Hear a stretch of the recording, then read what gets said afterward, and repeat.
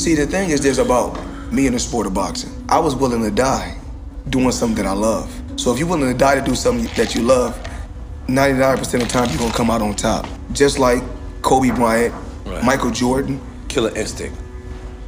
you know? Gotta take the shot, even if you miss. Yeah, fearless. You gotta take the Yeah. shot.